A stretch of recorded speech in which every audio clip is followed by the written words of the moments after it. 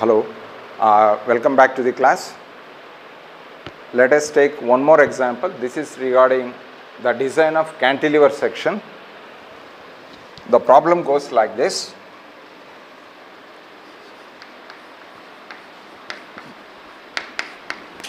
A cantilever beam of 4 meter span 4 meter span. Carries.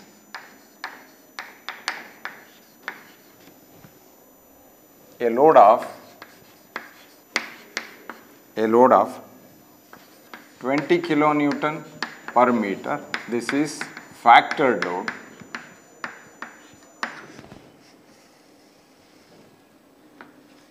The width of the beam is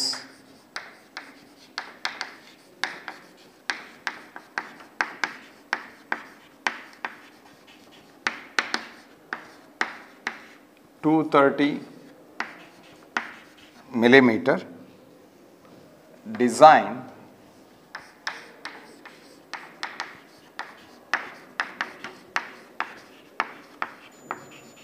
the beam for flexure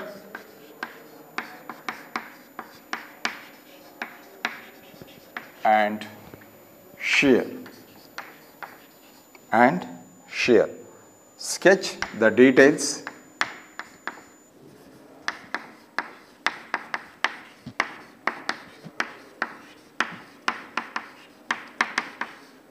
sketch the details of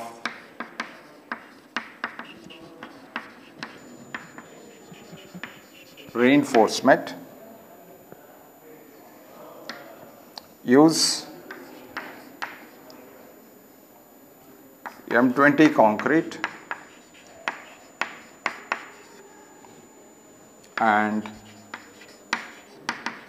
FE415 steel. Solution.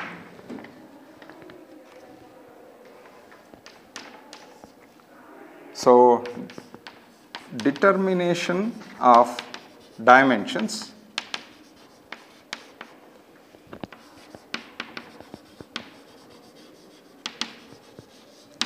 determination of dimensions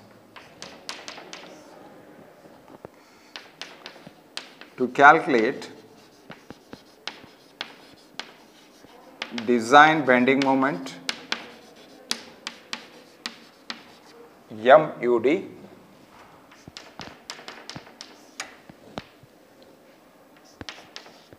to check the adequacy of depth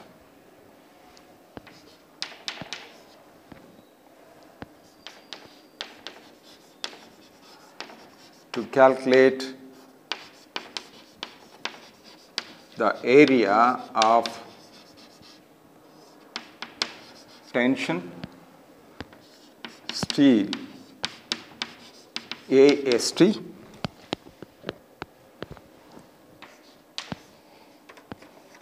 to check for shear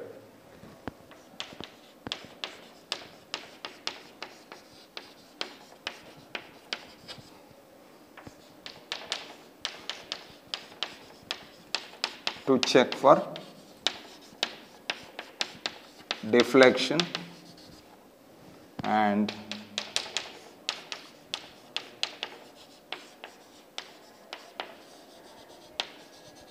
reinforcement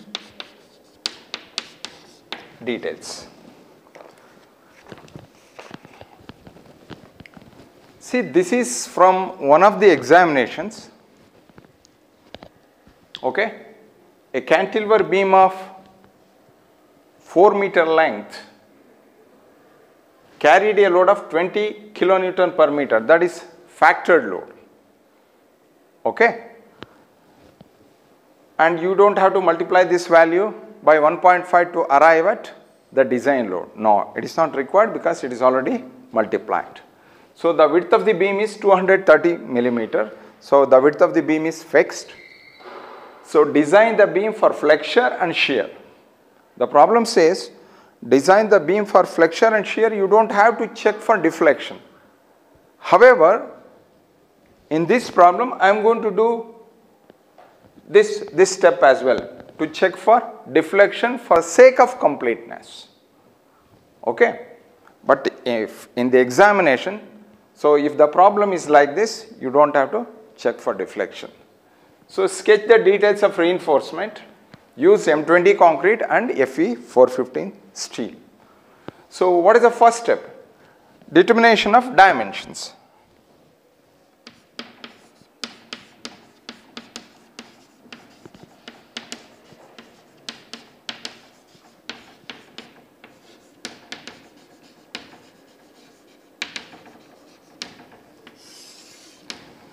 See, if you open page number 37 under 23.2.1 for cantilever, L by D ratio should not be greater than 7. Is it not? So, by making use of that formula without giving any corrections, so I am going to find out what is the depth required that is what is the thickness of the cantilever required. So, the cantilever goes like this, this is fixed, okay. So, so as per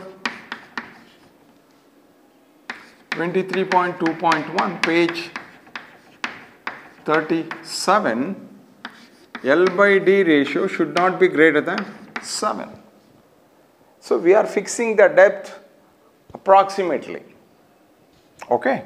So, then we are going to go back and check whether the fixed depth is okay or not.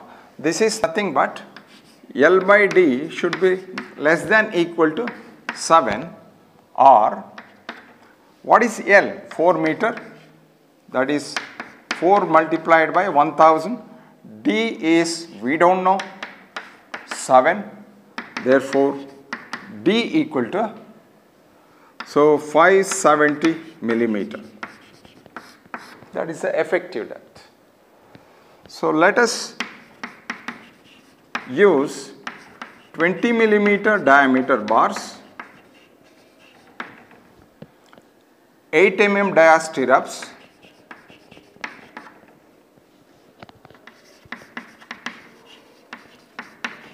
8 mm dia stirrups and by assuming mild exposure of concrete to the weather, we can take 20 mm as clear cover.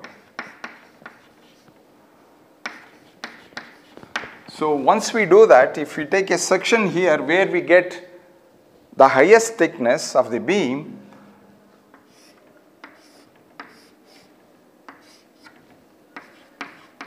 sorry. Cantilever we are going to provide. Reinforcement at the top. This is D so this is going to be 20 plus 8 plus 20 by 2 that is the effective cover. Okay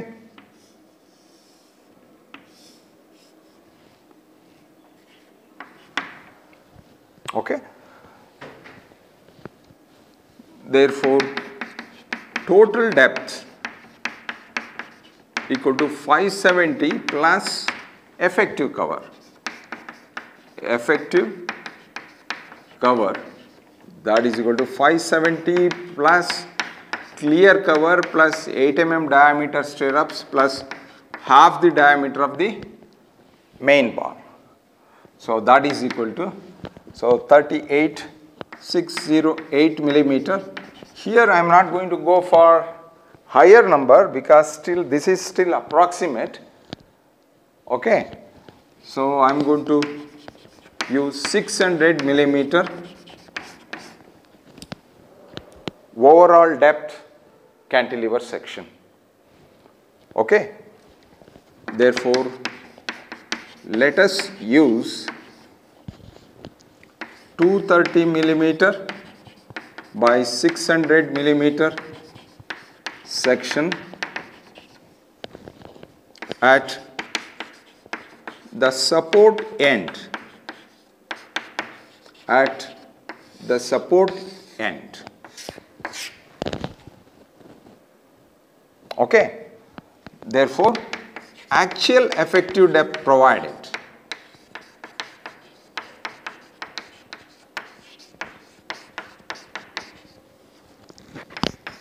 provided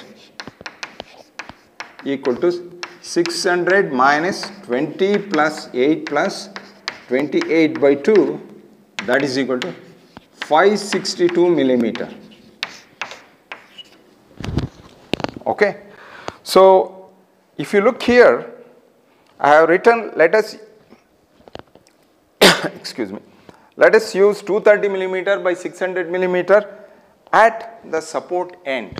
What it means is because we get maximum bending moment at the fixed support for a cantilever.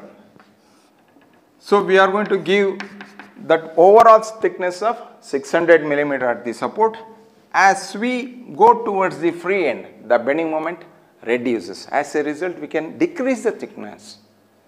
So, theoretically speaking, we need zero thickness at this end.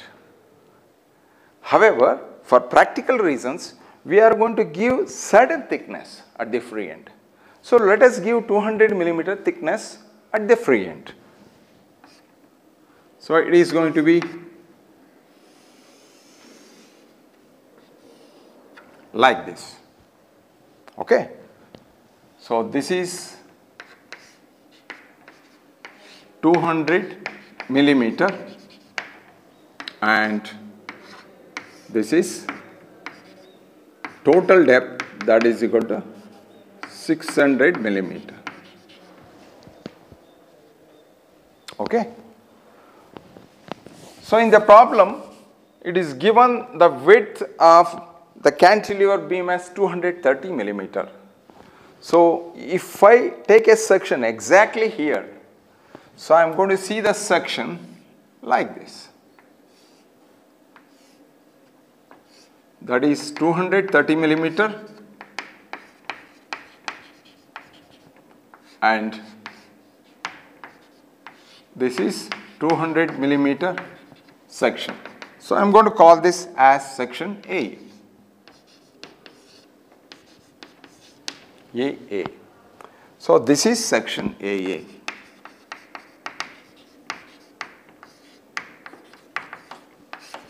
So, if I take a section here at this support, so I am going to call this as section BB.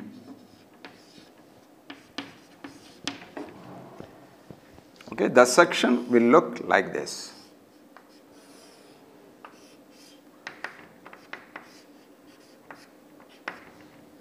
That is 230 millimeter and this is 600 millimeter.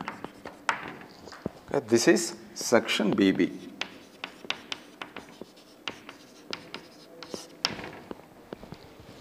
Okay. So, determination of dimensions. Now, the dimensions are fixed. Okay. What is the next step? To calculate design bending moment MUD.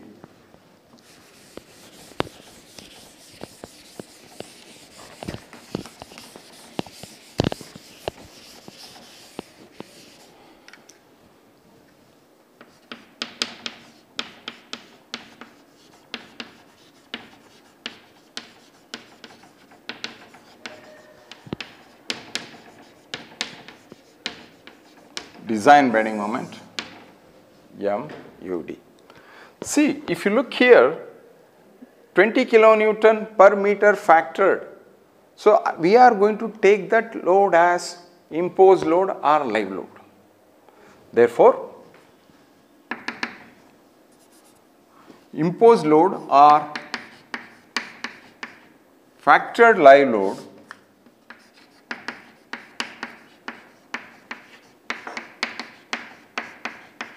factored live load equal to 20 kilonewton per meter. This is given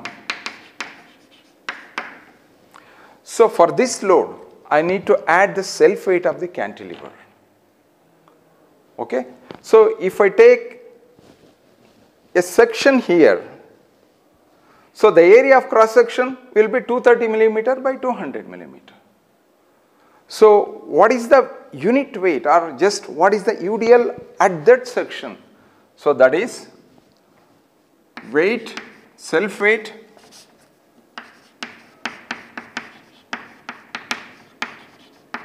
of the beam that is cantilever beam at the free end at the free end equal to 0.23 multiplied by 0.2 multiplied okay I am going to add one more step area of cross section multiplied by unit weight of RC that is reinforced concrete. So what is the area of cross section in terms of meter? That is 0.23 multiplied by 0.2, 0.23 multiplied by 0.2 and unit weight of concrete is 25 kilonewton per meter cube. That is 1.15 kilonewton per meter. Okay. And the next step is weight of the beam that is the self weight of the cantilever beam of the beam at the fixed end equal to at the fixed end equal to area of cross section that is 0.5 2, 3 multiplied by the depth multiplied by the unit weight of concrete that is equal to 3.45 kilonewton per meter. Okay. So these two are the loads, these are the service loads. So what we need is the design load. Therefore, design load at the free end equal to 1.5 times that is the load factor multiplied by 1.15 that is equal to 1.725 kilonewton per meter and design load at the fixed end at the fixed end that is 1.5 multiplied by this is 3.45 that is equal to 5.175 5.175 kilonewton per meter. Okay? So if i show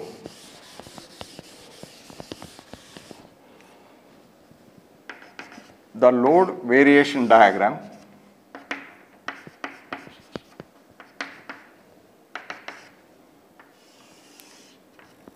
for a design load. So, it is going to be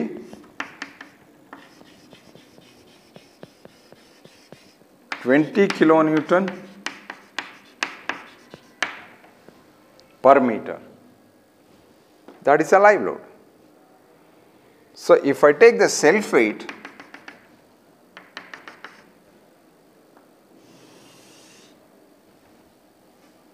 So, the load is going to be like this.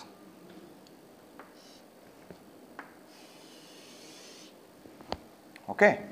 So, this is 5.175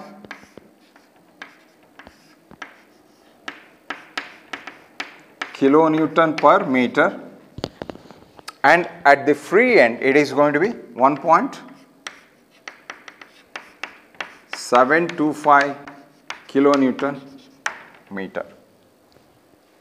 Okay. So, I am going to divide this figure into a rectangle and a triangle. So the load is going to be like this.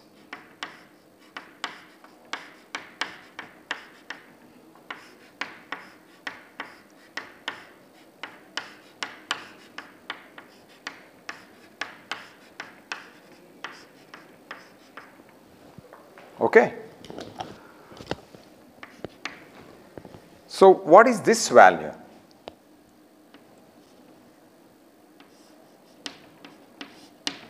So this value is going to be 5.175 minus of 1.725. Okay, that is the value here. So it is 175 4.55.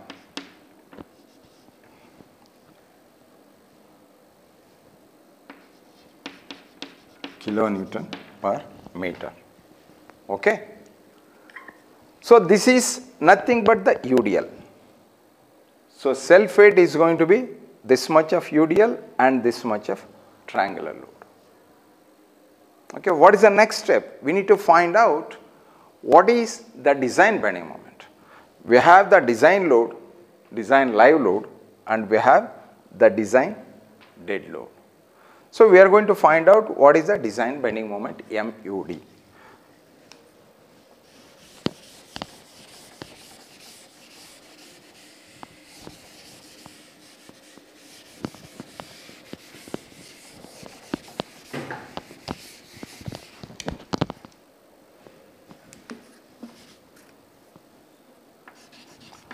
maximum bending moment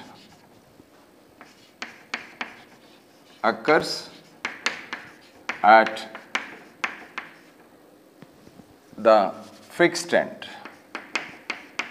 at the fixed end. This is the fixed end. So, I am going to take moments of all the forces about this okay and I am going to add those values.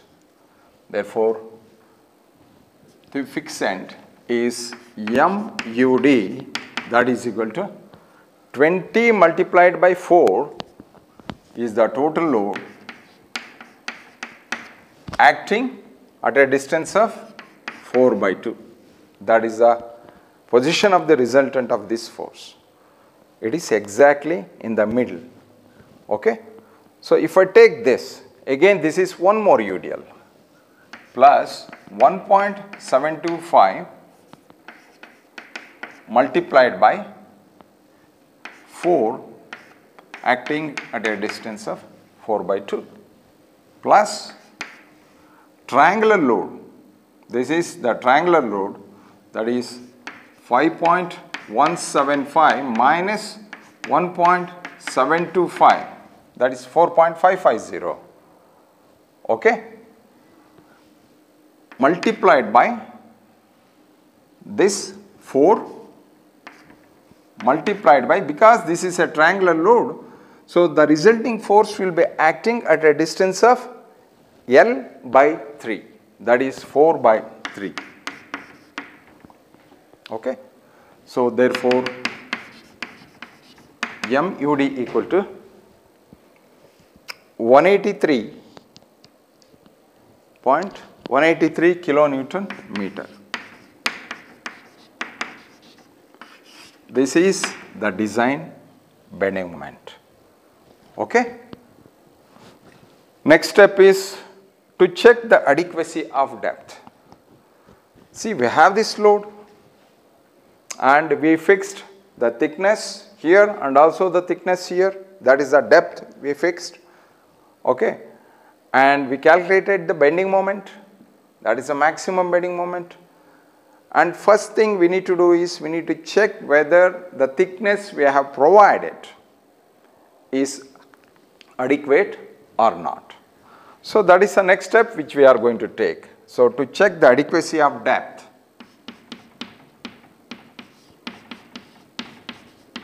to check the adequacy of depth.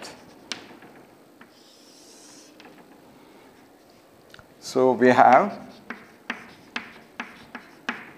mu limit equal to 0.36 xu max by d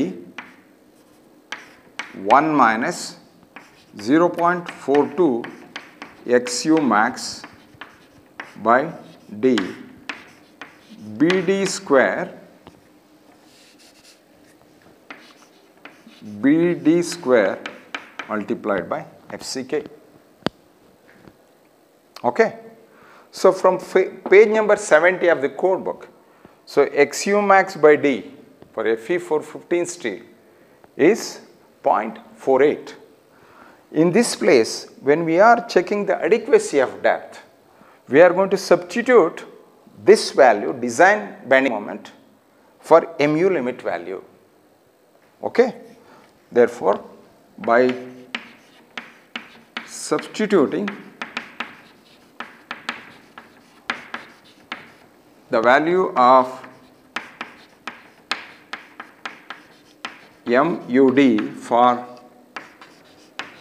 mu limit we get. So, mu limit is 183 multiplied by 10 to the power of 6. I am converting the value into Newton millimeter 0.36 multiplied by 0.48 1 minus 0.42 multiplied by 0.48. B is 230 millimeter that is given d square into m20 concrete so it is 20. So after simplification we, therefore we are going to get the value of d equal to 534 millimeter. Okay.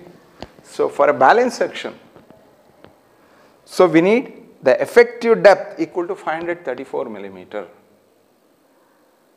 Is it clear? But what is the actual depth provided? The actual depth provided, if you remember, the overall depth D that is 600 millimeter minus the effective cover which was 38 millimeter. So, the actual depth we provided was 562 millimeter. So, this is the minimum depth required and this is the depth we provided therefore okay. We have provided the depth more than what is required for a balance section. Okay. And this depth we have provided is greater than a balance section. So once we increase the depth what happens to the lever arm? Lever arm length increases. After all, moment of resistance is given by total tension or total compression multiplied by the lever arm equal to some design moment. So, when you ch do not change the design moment, instead if you increase the lever arm on the left hand side, so the area of steel required will be less. Okay, that gives rise to an under reinforced section. Is it clear to you? Because this is less than this, therefore, the section is adequate adequate and under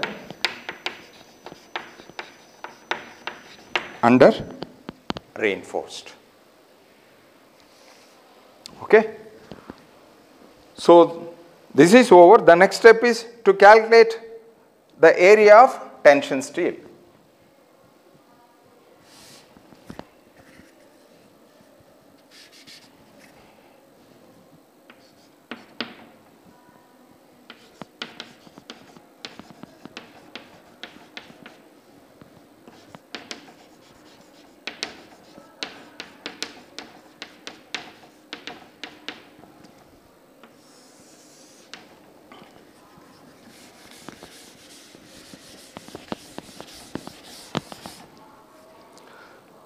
So, because the section is under reinforced, to calculate the area of tension steel, the formula we can make use of is 1.1b on page 96 of the code book. So, because the section is under reinforced under reinforced. We have mu equal to 0.87 FYAST D 1 minus Fy AST divided by FCK BD. Okay, this is the formula given on page 96 under annexure G 1.1C. Okay, so by substituting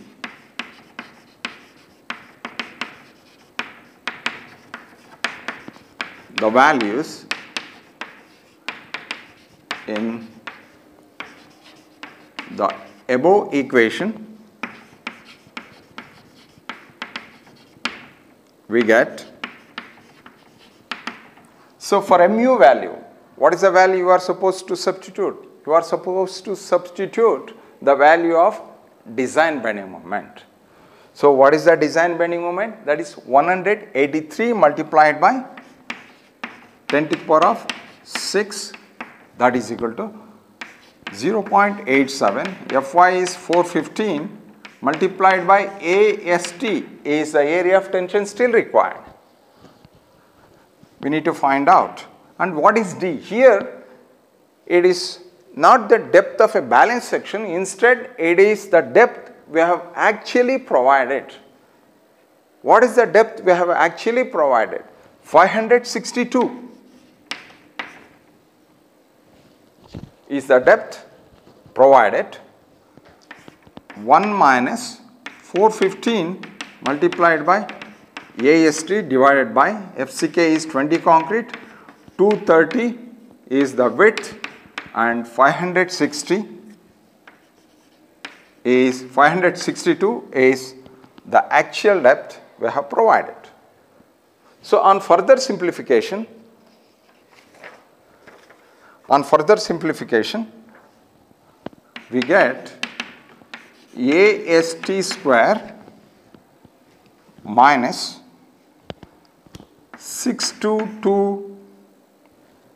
6229.45 AST plus 5.75 into 10 to the power of 6 that should be equal to 0. So, ax square plus bx plus c formula. Okay. Therefore, AST equal to 1127 millimeter square. Okay. So, this is the area required. So, therefore, number of 20 mm dia bars because we are using 20 millimeter dia bars equal to 1127 divided by pi by 4 20 square that is equal to 3.6 say 4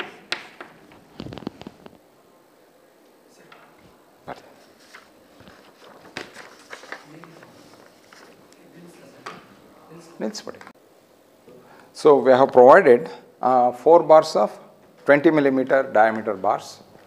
So therefore, actual area of steel provided is AST equal to 4 bars pi by 4 20 square that is equal to 1256.6 millimeter square. That is the actual area of steel provided. So, we have to check for AST minimum and AST maximum. So, therefore, AST minimum equal to 0.85 divided by Fy B multiplied by D. 0.85 415 steel into 230 into 562 is the effective depth that is equal to 265 millimeter square. So this is the AST value, actual value we are providing. This is the AST minimum. So we have to provide at least this much. Therefore, AST provided is greater than AST minimum. Okay, therefore, okay. Okay. So now you know from where exactly we got this formula from, from the IS code from the previous example. So I am not going to go into detail to that part. Similarly, AST max equal to 0.04 B capital D that is equal to 0.04 multiplied by 230 and overall depth is 600 that is equal to 5520 millimeter square. This is AST max. Okay. And so AST max is greater than AST provided. Therefore, okay. Okay. So next, the next step is to check for the development length. To check for development length. I am going to explain why we need this in case of cantilever. So we have again I am picking up this formula from the code book. So that is phi sigma s divided by 4 tau bd. Okay. So here phi is the diameter of the bar which is 20 millimeter. Sigma s is 0.87 fy that is 0.87 415 divided by 4 times tau bd is the bond strength of concrete for M20. So the bond strength between M20 concrete and the mild steel is 1.2 Newton per millimeter square as given in the code. Because we are using 415 steel with 20 mm diameter bars, that is a deformed bar. So for deformed bars, whatever the value given in the table should be increased by 60%. So that's why 1.2 Newton per millimeter square is the bond, bond strength. So by increasing that value by 60%, I am going to get this value. That is equal to 940 millimeter is the development length. So again, we need to give correction for this. I am going to explain. So in case of cantilever, so when we are providing cantilever like this, so this is the support. Okay. So when we are providing reinforcements, tension reinforcements like this, so for our case, it is 4 of 20 millimeter diameter and the development length LD should be on this side and also it should be on this side. That means the development length should be like this. Or if you have a beam like this behind this cantilever, the bar should be bent such that that length is going to be development length. So, but in this case, we need to reduce this. The reason is the actual area of steel required is 1127 millimeter square, but we are providing 1256.6 millimeter square. Okay, as a result, we can reduce the development length by that much. If you are giving exact value of 1127 millimeter square area for tension steel, so you must provide a development length of 940 millimeters. Since we are increasing the area, the surface area of the bar increases. As the surface area of the bar increases, So the area of contact of the bar with the surrounding concrete increases. As it increases, we can reduce the development length of the bar by that much. Because development, design development strength or capacity or design bond strength or capacity is given by the length of the development multiplied by the circumference area. Okay. So, therefore, actual development length we need to provide equal to LD multiplied by area of tension steel required divided by area of tension steel tension steel provided.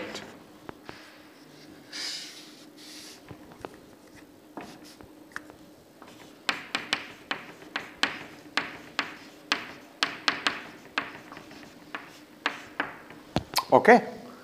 So here it is 940. Area of tension steel required is 1127. That's what the calculation value we got. That is 1127. And area of tension steel provided is here 1256.6.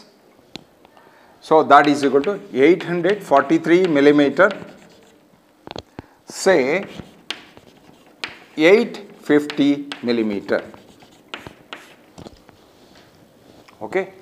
So, what it means is when we are providing reinforcement in case of cantilever, the development length on both sides of the support should be equal to 850 millimeter at least. So, that means 850 millimeter minimum on this side. This can be a straight bar or you can just rotate the bar. As long as the total length is at least 850 millimeter, we are okay. And also the development length should be 850 millimeter. Of course, the cantilever, cantilever length is 4, 4 meter that is greater than 0.85 meter. So, automatically it will be okay. And one more thing which I am not going to do, but just do this as a practice. So, because we are providing 4 bars on the top, so if you take a cross section, okay, you will see 4 bars like this. Okay. So, in this case under this load, the bending moment here will be 0. If I draw bending moment diagram, bending moment variation diagram for this, so I am going to get the bending moment variation diagram like this for a cantilever. Okay.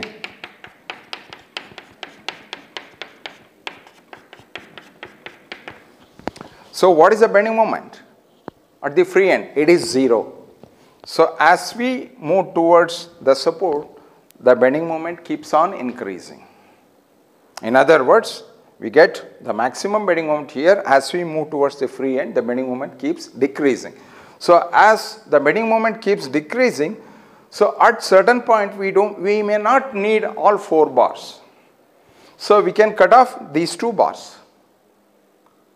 Okay. So what we need to do is we need to find the distance at which we can cut two bars. So how do we do that?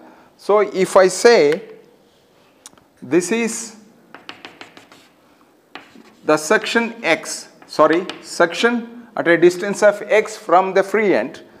So come here, take the moments of all the forces about this axis and equate that value equal to 50% of the design bending moment. Okay. So 50% of the design bending moment, yes, you have the value MUD, take 50% of it, equate that find out the exact value of x. Once you got the value of x, so at that section we will will have the 50 percent bending moment, 50 percent of maximum bending moment. So there theoretically you can cut off two bars theoretically. However, the code says the bar should be extended for a distance equal to 12 times the diameter of the bar or one effective depth at this section whichever is greater. Okay. Once you do that, so you can find out from what exactly the distance from the support to that point wherein you can cut the bars practically. Okay. So once you know this length, that is where to cut the bars, that is 50 percent of the bars. So that value must be checked against this 850 millimeter. What it means is, say for example, you are cutting the bars at a distance of 1.5 5 meter from the support, that is 1500 millimeter. So that's okay, that distance is greater than this value. What in case you happen to cut the bar actually at a distance of say 750 millimeter from the support? Of course, you can cut it if it is a simply supported beam. But in case of cantilever, what you must do is you must extend the bar at least for a distance equal to 850 millimeter from the support. Okay, that part I am not going to do the calculation. So just you do that as a practice that is cut two bars at a certain distance that is where you have 50 percent and check for this. Is it clear to you? So we will go with the next step.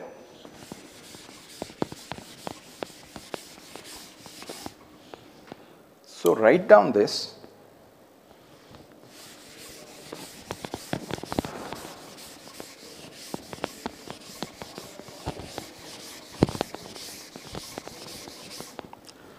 The next step is to check for shear.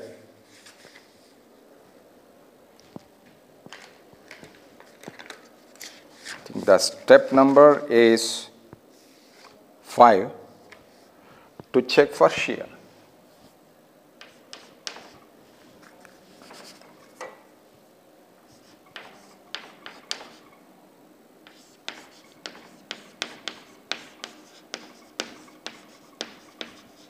to check for shear. So what is the design shear force? So of course we are going to get the maximum shear at this section. So of course maximum bending moment and maximum shear we are going to get at the same section. Okay. Find out what is the reaction here. So that is going to be the maximum shear or design shear. Therefore,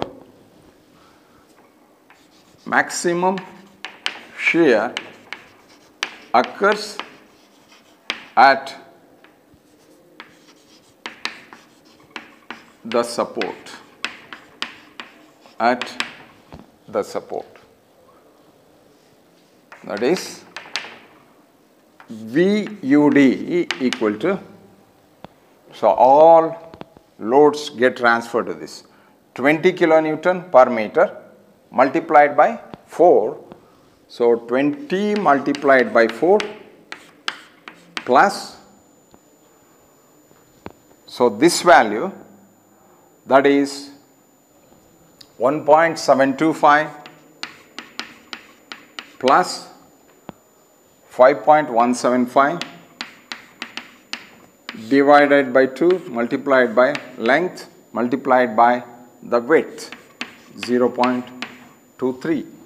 So VUD equal to VUD equal to 99. 84 kilonewton 99.84 kilonewton that is the design shear force. So, nominal shear stress please open page number 72 of the code book Please open it.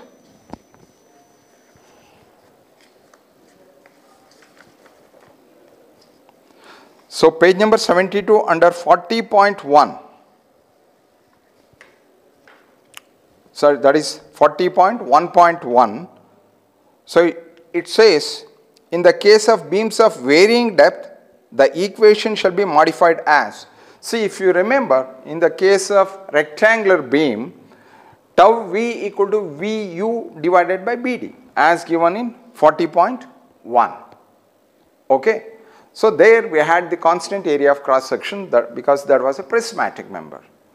So in this case what happens to the depth of the section? It changes from section to section. Okay.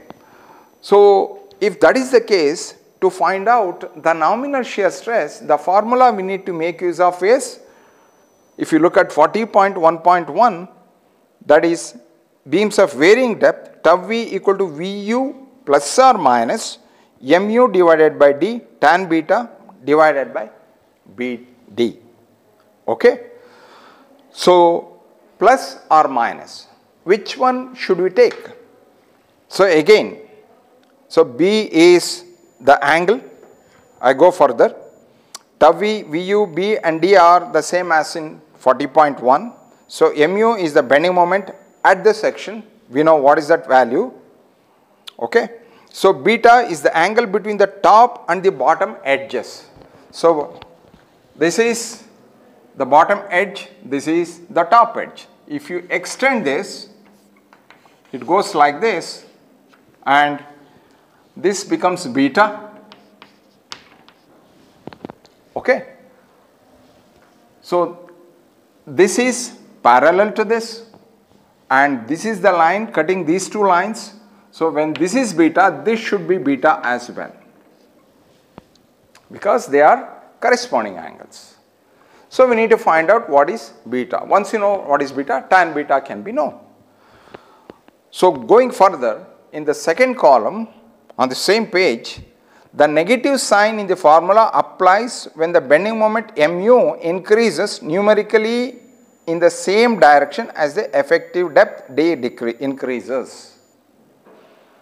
What it means is, so in the formula plus or minus, so we can put minus sign as the bending moment increases as the depth increases.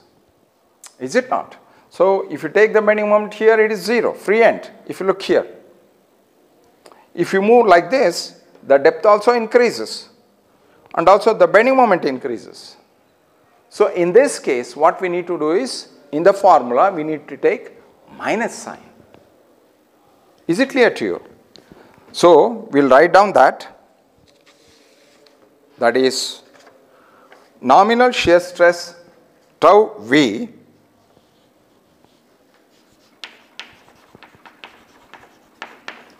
shear stress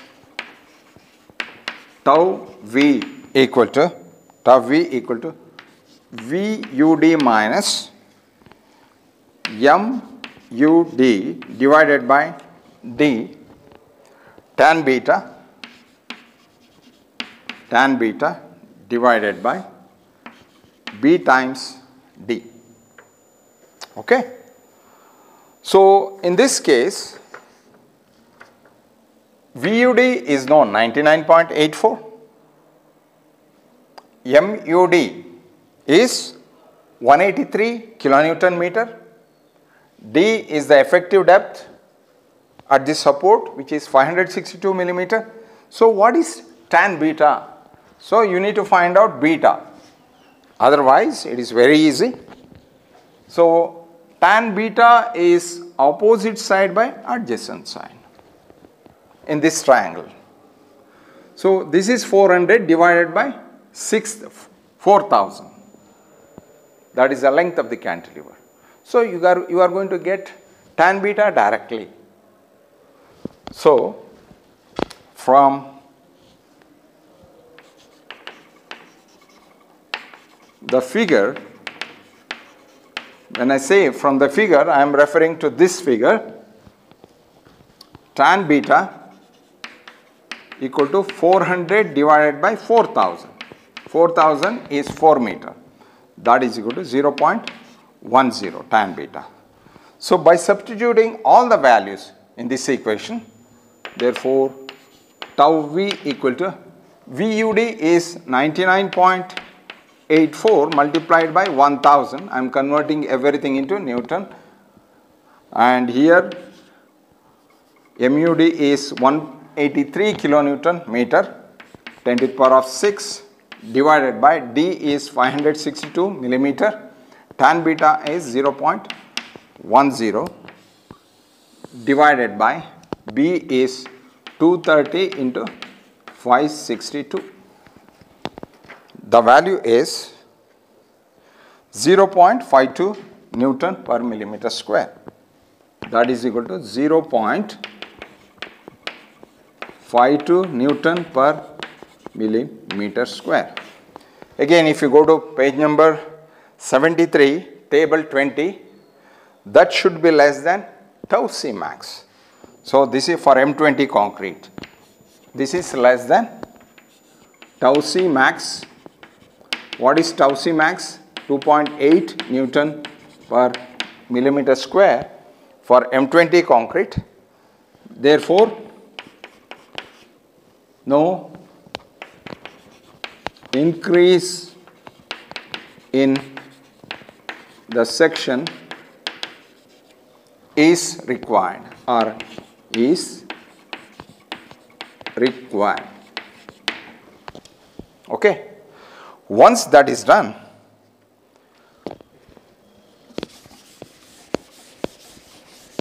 next step is to find out the shear capacity of concrete. Here we are not cranking any bars.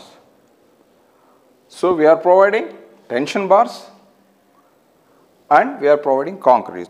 That means shear is going to be taken care by the concrete and the stirrups. Is it clear to you? So, so to find out design shear capacity of or design shear capacity when I say shear capacity or design shear capacity, here it is one and the same design shear capacity of concrete. So for that the first thing I need to do is to find out the percentage of steel. Therefore, percentage of tension steel, percentage of tension steel equal to so we are providing 4 bars of 20 millimeter dia. B is 230 multiplied by 562 is the effective depth multiplied by 100 that is equal to 0.97 percent tension steel. So, we are providing 4 bars that is equal to 0.97 percent. So, from table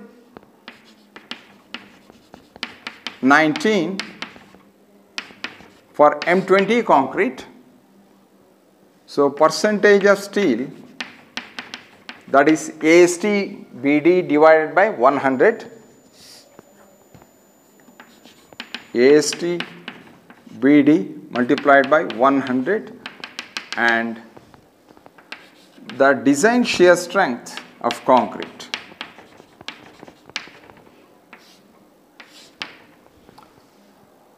So, for 0.97 falls between 0.75 and 1. So, again if you look at table 19 for M20 concrete for 0.75 it is 0.56 and for 1 percent steel it is 0.62. So, 0.75 is 0.56 Newton per millimeter square and for 1 percent steel I do not need to write percentage. For 1% steel it is 0.62 Newton per millimeter square. Ours is 0.97. So, what is the value? Therefore, tau c equal to that is the design shear strength of concrete is given by 0.56 plus 1 minus 0.75 0.97 minus 0.75 that is 0.62 minus 0.56 that is given by 0.61 Newton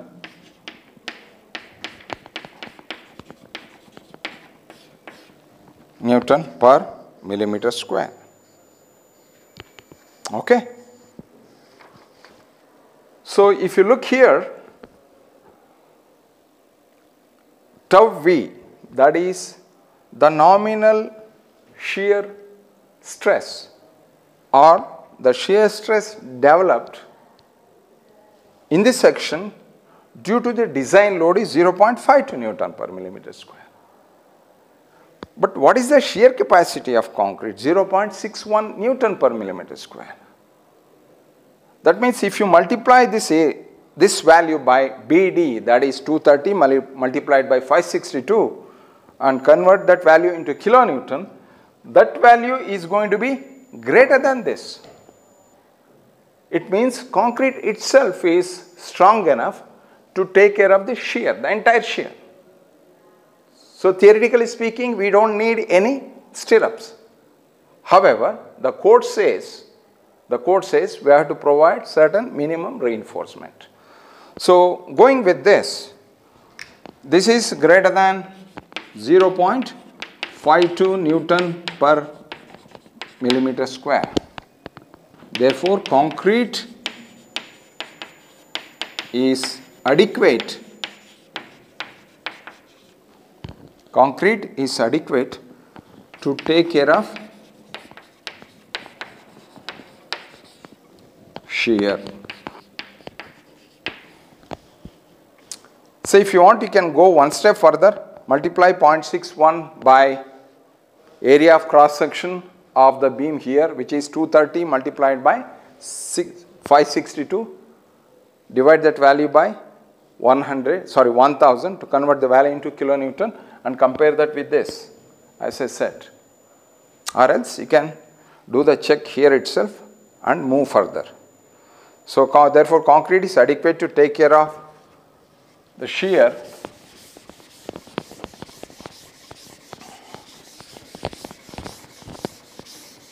However,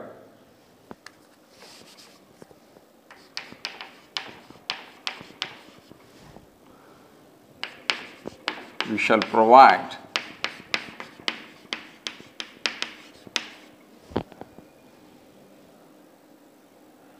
Stirrups. Stirrups. As specified in the code. So let us provide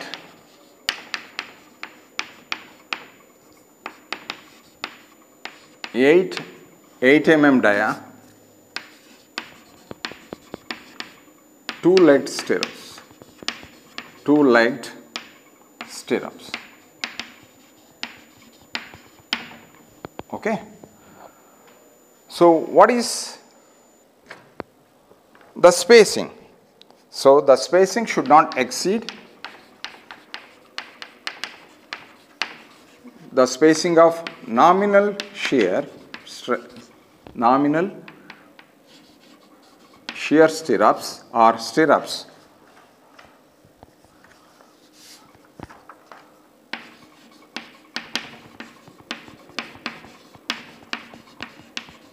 not exceed should not exceed 0.75 times d that is 0.75 times it is 562 that is equal to 40 423 millimeter center to center. And in no case it should exceed 300 millimeter center to center. This is as specified in the code on 26.5.1.5 and 26.5.1.6 on page 47 and 48. Okay. And also the spacing should not exceed SV equal to 0.87 Fy ASV divided by 0.4 B. So that is 0.87 into 415 into here area of cross section of the stirrups we are providing two legged stirrups 8 square divided by 0.4 multiplied by 230. So that is equal to 394 millimeter center to center. Okay.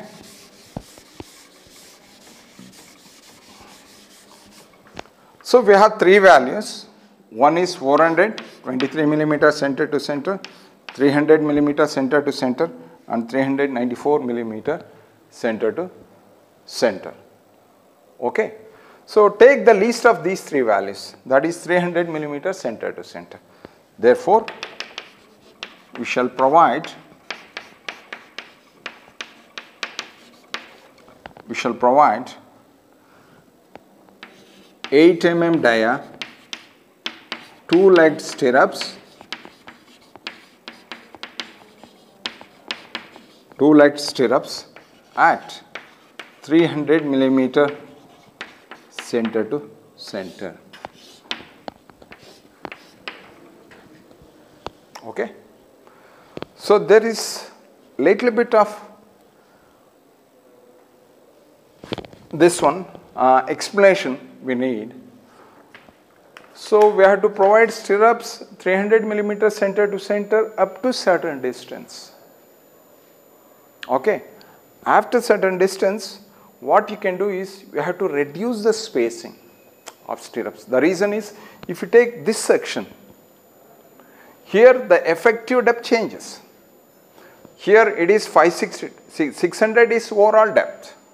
Say for example, here it is exactly in the middle that is at 4 meter. So the overall depth will be less than 600 and greater than 200. So it is going to be if I take this 400 so it is 200 plus 200 400. So exactly in the middle it is 400 is the overall depth okay minus the effective cover 38 that is equal to 362 millimeter is the effective depth here. Okay. When you consider the spacing of stirrups again you need to follow the same here. Okay 0.75 d. So 0.75 times 362 is 270 300 should not cross and it, sh it should not cross this 394 so 0.75 times d is uh, 362 that is 270 here 270 300 and 394 so beyond here beyond the middle you can decrease the spacing to say 272 millimeter center to center. In other words you can decrease the spacing to 270 millimeter center to center. And you can provide the same throughout. Is it clear to you so that part I am not doing. Okay, just uh, keep in mind. So if you keep doing all these things in the examination, each and every small things, so the time will not be enough for you. So depending on how much marks allotted, so just you know make your decision and do the calculations required. Okay, not beyond that. But when you are doing the design actually then you have to do a detailed design even if it takes some additional time. Okay? And next we are going to go with design check for deflection. Okay? Once the check for deflection is complete I'm going to go and uh, go with the detailed drawing that is the reinforcement details. Okay? So, we will continue.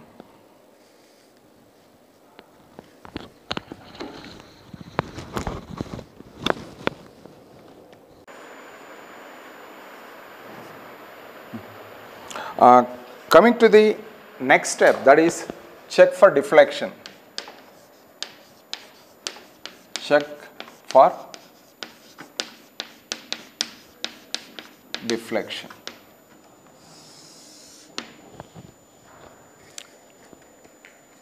So, if you open page number 37 of the code book for a cantilever beam, so from clause 23.2.1 page 37 for a cantilever LE that is the effective length of the cantilever divided by the effective depth should not be greater than 7 multiplied by the modification factor. In other words, LE by D should be less than or at most equal to 7 multiplied by the modification factor due to tension steel. Okay. So, when it comes to LE, effective length of of cantilever LE in this case. So, what you must do is if you go to page number 35, please go under 22.2C, page number 35, first column, if you go up for cantilevers, it says the effective length of a cantilever shall be taken as its length to the face of the support plus half the effective depth except where it forms the end of a continuous beam where the length to the center of support shall be taken. So, that is a whole paragraph, but what we need is, so the effective length of cantilever LE is as its length to the face of the support plus half the effective depth. Okay, is it clear to you? Even for bending moment, we should have taken that effective length instead of the clear length of 4 meter. But still we did, we just, we compromised on that, but it's okay. So in this case, effective length LE equal to clear length, clear length plus half the effective depth. This is as per 22.2C page 35, 22.2C page 35. So, LE equal to clear length is 4 meter okay, plus effective depth is 0.562 meter divided by 2 that is equal to 4.281 meter. Okay. Therefore, LE by D equal to 4.281 effective depth is 562 millimeter or 0.562 meter. The value is given by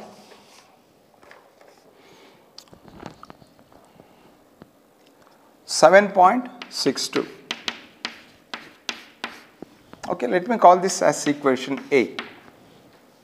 Okay, so when we check ft value, ft value multiplied by 7 should be greater than 7.62. So, what is the next step? We need to find out what is 7 multiplied by ft. For that, you need to find out what is ft. To find out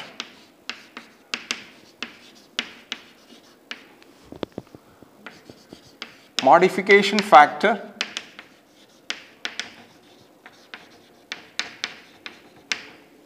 Ft due to tension T due to tension steel okay So again if you go to page number 38 table 4 so for tension steel modification factor what are the values you need? You need Fs value. To find out Fs value, yes, the formula is given under the table itself and also you need to find out what is the percentage of tension steel. Therefore, percentage of tension steel, percentage of tension steel AST equal to, because we have 4 bars at this support, so that is 0.97 percent. We already calculated this value. Okay. So, and Fs equal to 0.58 Fy area of tension steel required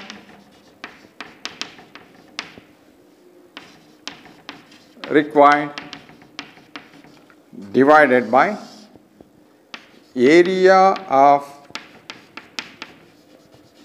tension steel provided.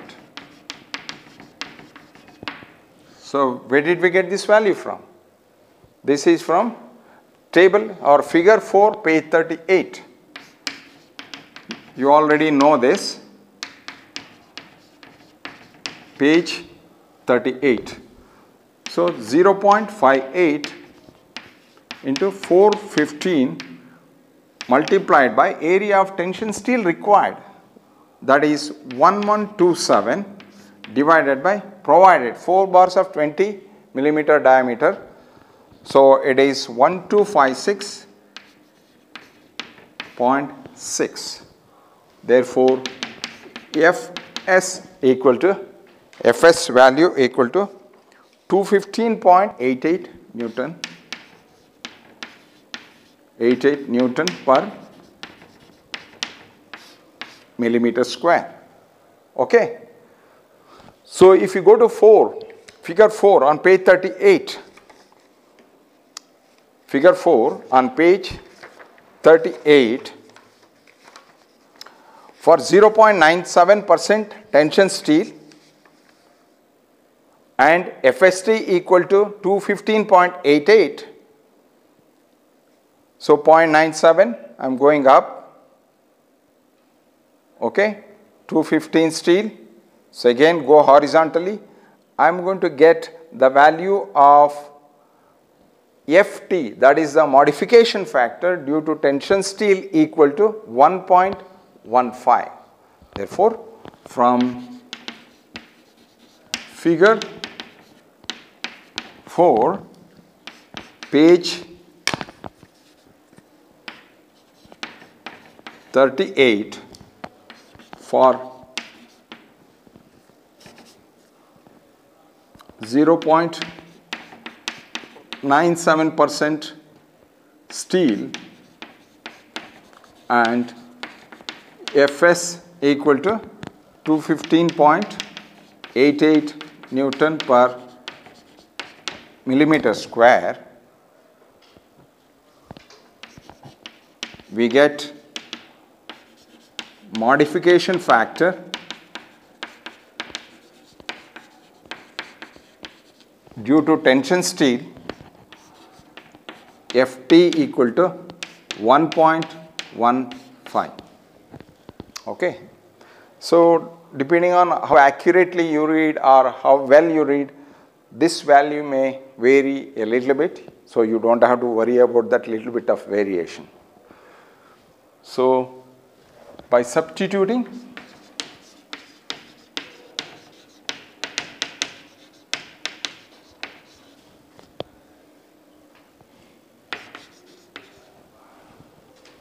if I call this as equation 1, if I call this as equation B, this is equation A and this is equation B. The values of equation A and equation B in equation 1 we get we get So LE by D is 7.62. Okay. And 7 multiplied by 1.15 that is equal to 8.05. So that is 7.62 is less than 8.05. Therefore, deflection condition is generally satisfied. Okay? Is this clear to you? So this completes the design problem. The next step is that is step 7 is reinforcement.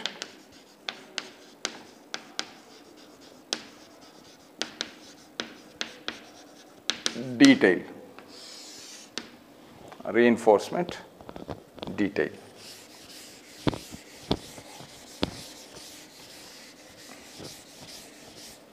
Details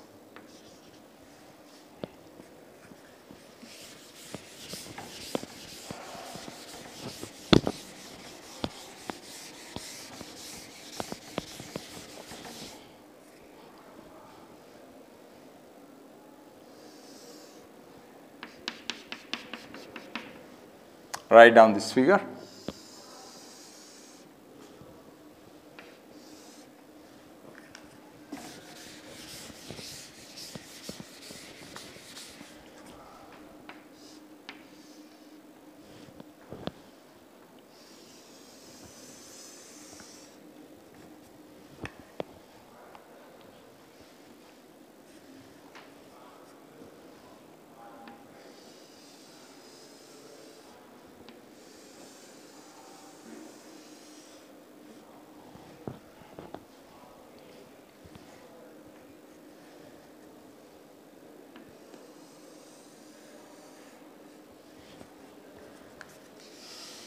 Okay, and of course, if this is the support, even we are going to provide concrete on behind it as well.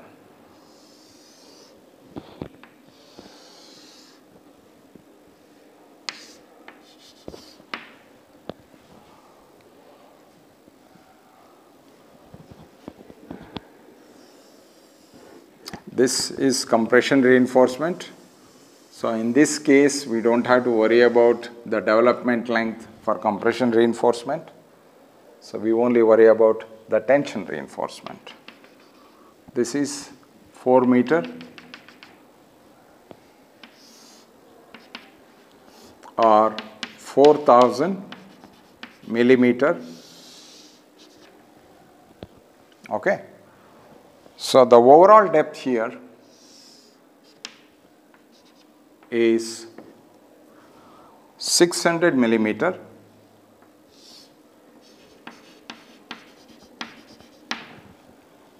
Here the overall depth is 300 millimeter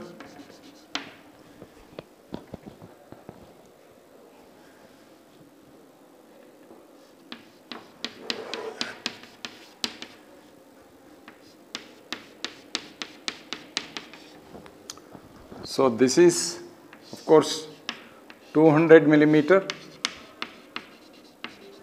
This is 400 millimeter.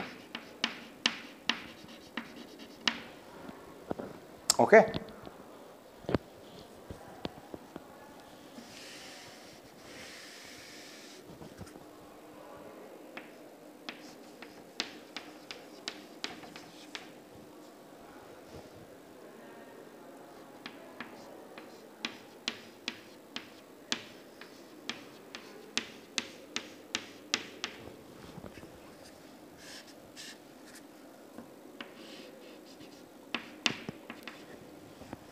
Okay. So as far as the stirrups are concerned, the stirrup spacing should not exceed, as I said, should not exceed 0.75 times D, 300 millimeter and there is another formula. So, out of these three values we should take the least because the depth is varying here and we calculated the spacing of stirrups at this section where we have the maximum depth and we got the value of 300 millimeter center to center. So what I do is I am going to provide 300 millimeter center to center up to certain point okay out of this 4 meter. So afterwards I am going to decrease the spacing because it should not exceed 0.75 D. Similarly, I am going to decrease the spacing of stirrups further. So, I am going to divide this, this into three parts. If you want, you can divide that into two parts because, so practically speaking, it is if it is 4 meter, okay. So, dividing that into three parts, so you may get 1.5 meter one side, 1 meter and another 1 meter or 1.5 meter the other part. So, if I take say 1.5 meter here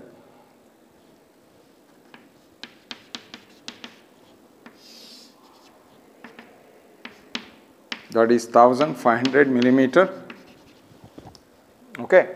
So this depth is not 300 this is this depth is 200 plus this depth is going to be so just I am going to check roughly 2.5 meter this one 4 meter that is equal to this say y divided by this 0.4 0.4 therefore y equal to so it is 1 0.25 meter. That is 0.414 so 0.25 meter. So 0.25 meter and the total depth is here. So 300, 225 millimeter. Okay, I am going to check the calculation once again. This is y divided by 0.4 and this 2.5 divided by 4. So, it is 1.2, this is 225 millimeter, sorry 200, 250 millimeter and 4, sorry this is 450 millimeter, 450 millimeter. Okay, 0.75 times of D is 337.5 millimeter. So, again the code says the spacing should not exceed 300 millimeter center to center. So, from here to here I am going to provide stirrups at a spacing of 300 millimeter center to center. Okay, for a distance of 1500 millimeter. So, if I take say another 1 meter or 1.5 meter, say 1 meter, this is not 1 meter, sorry, 1.5 meter I am going to take. This is 1500 millimeter. Okay. So, this is this distance if I take this as y divided by 1 meter, y divided by 0.4, it is 1 divided by 4, y equal to that is 0.1 meter that is equal to 100 millimeter. So, this is going to be this depth is going to be 300 millimeter. Okay. So, between this and this, so the spacing should not exceed 300 millimeter and whatever given in the formula and 0.75 times D. So 0.75 times D is this value you take, lesser value you take, not this depth, instead this depth. So that is going to be 225 millimeter center to center. So for this length, so I am going to provide 8 mm dia, two leg stirrups.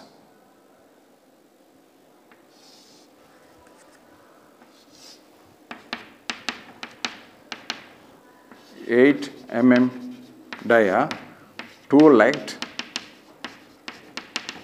at 225 millimeter center to center and this is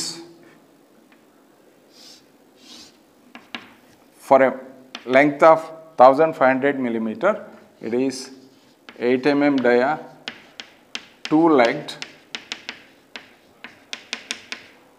at 300 millimeter center to center. So, for the remaining 1 meter So, again 300 millimeter on whatever the value given in the formula and also take out of these two depths take the lesser depth which is 200 millimeter 0.75 times d. Okay.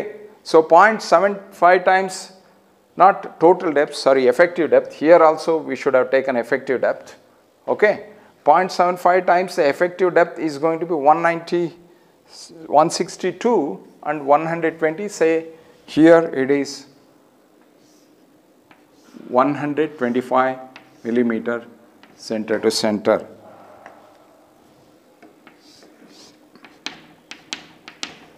So 8 mm dia, two legged stirrups at it is say 150 millimeter center to center. So one sorry 162 120 millimeter center to center.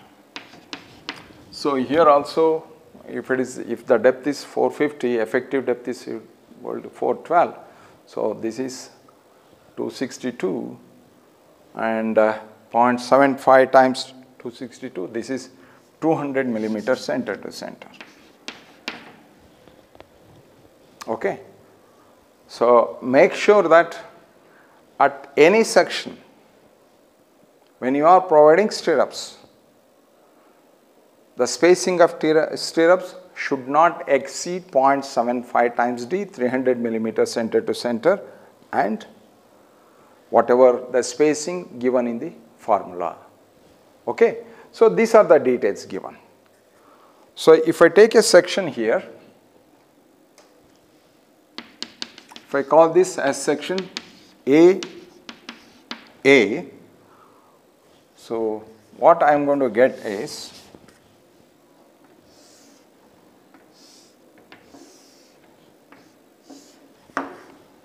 so 4 bars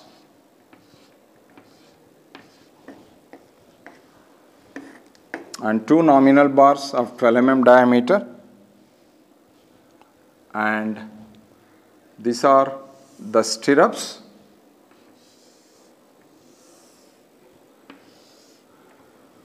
okay? Whenever you provide this hook so the hook should be provided in the compression zone not in the tension zone. So for simply supported beams we used to give this hook at the top because the compression was on the top. Here in this case cantilever case. So the, the hook should be in the bottom part because it is subjected to compression.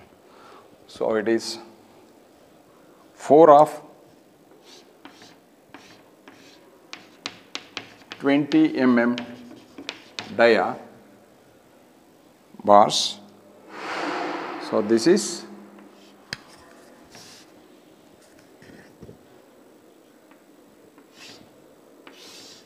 two of 12 mm dia compression steel nominal nominal. So, this is 8 mm dia two leg stirrups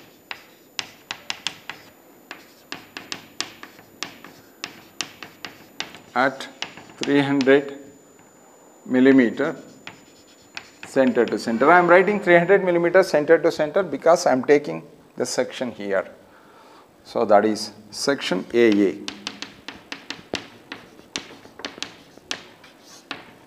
Okay, this is 230 millimeter is the width and the overall depth is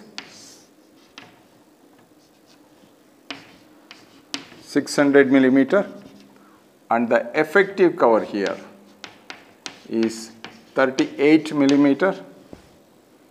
Okay. So this is 4 of 20 mm dia. This is 2 of 12 mm dia bars. So, this is section AA. So, if I take a section here, I am going to call this as section BB. So, I am going to get like this.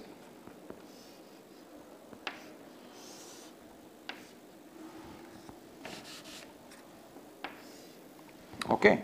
So, the width is 230 millimeter and the depth is total depth is 200 millimeter. And I am going to continue with 4 bars and here 4 bars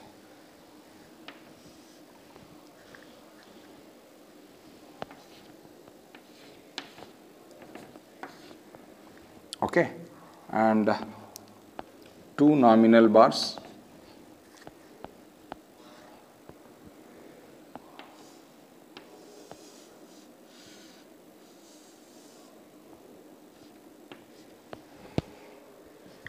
This is section B B. Okay 4 of 20 mm dia. This is 2 of 12 mm dia nominal. So here we are going to provide stirrups. 8 mm dia stirrups.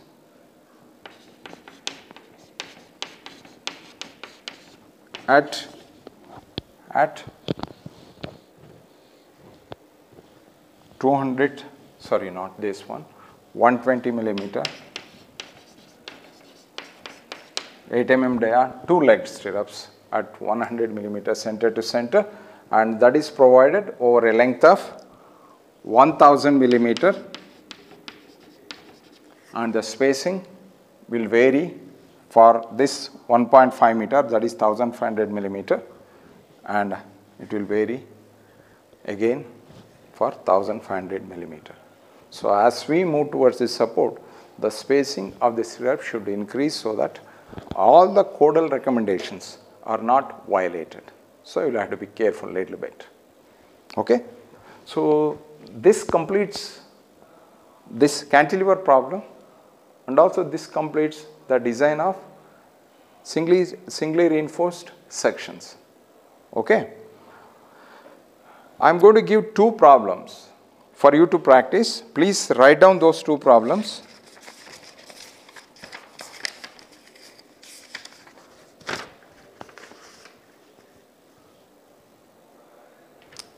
Please write down this.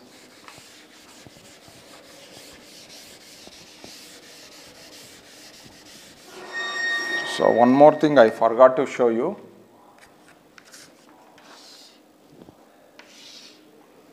So, this may continue further and uh, this length should be at least equal to from here from the face not less than 840 millimeter. Okay. This length, the bar you should extend behind the support is going to be at least 840 millimeter. I hope this is complete. I am going to write down the problem for assign for practice.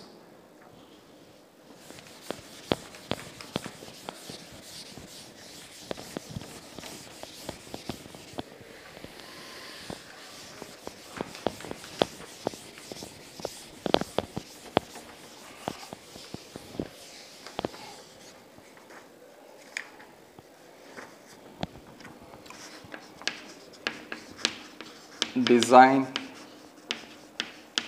a singly reinforced beam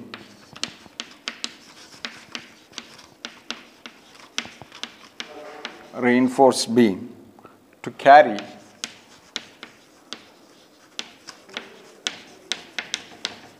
a live load of 14.5 kilonewton per meter. The clear span of the beam is 5.50 meter.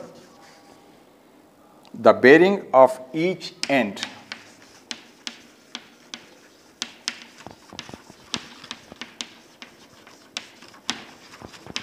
each end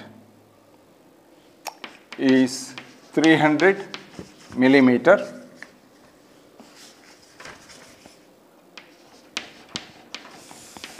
Three hundred millimeter. Use M20 concrete and FE415 steel.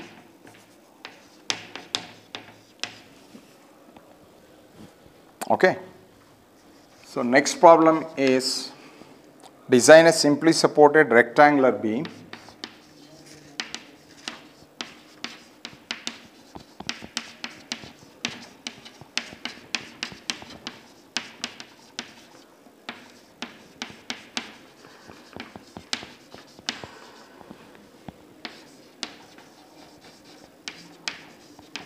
two fifty millimeter wide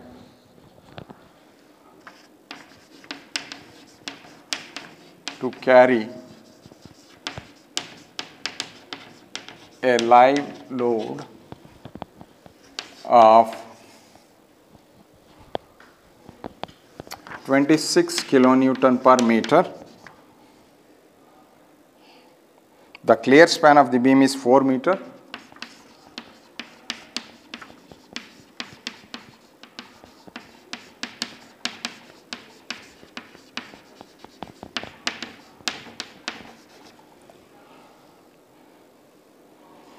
The bearing at each end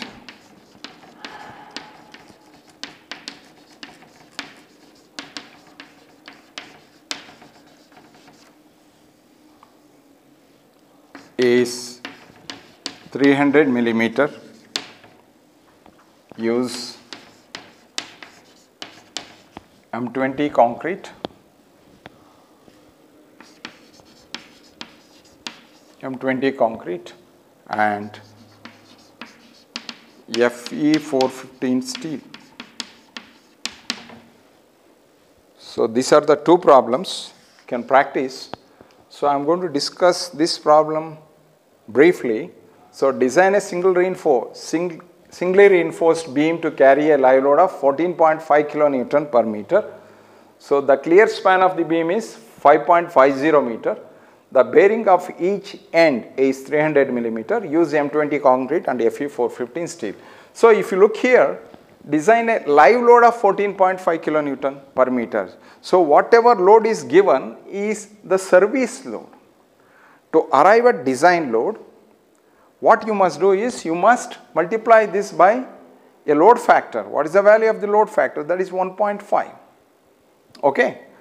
So, in addition to that, you need to include the self weight of the beam.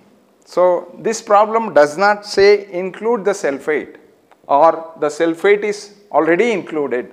It does not say that. It means, so you must fix the dimensions of the beam. You must fix the width and the depth based on the thumb rule. Once you have it, so you calculate the value per meter length of the beam and multiply that value by the load factor. So, that value equal to 1.5. So, to arrive at design load due to the self weight that is a dead design, dead load design, sorry design load due to dead load and 1.5 times 14.5. So, you will have another number. So, add those two numbers finally you are going to get the design load. Okay, once you have the design load, so 5.5 meter is the clear span. So that is the distance between the faces of inner faces of the supports. Okay, that is the clear span.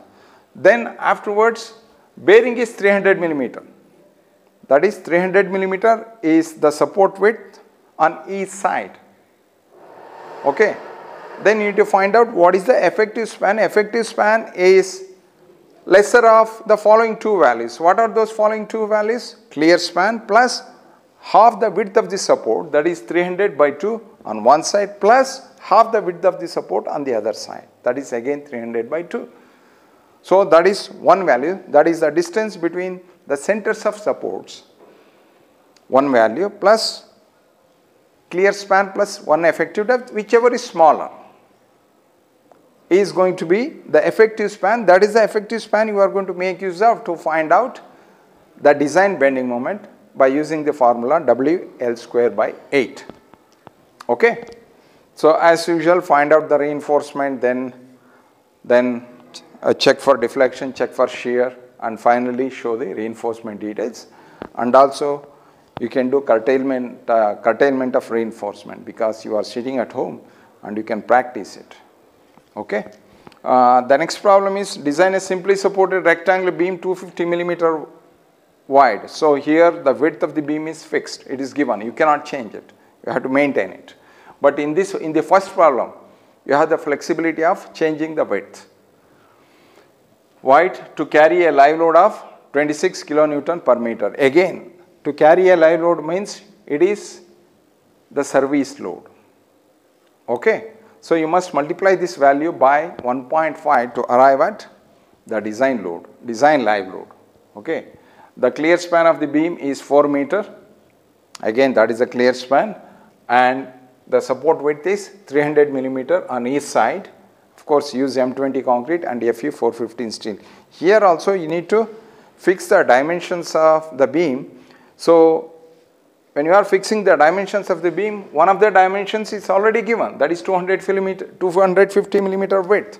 The only thing you need to do is find out the effective depth and also after giving the effective cover to it, find out what is the total depth. Once you know the cross section details, you can always find out what is the dead load or the self weight of the beam.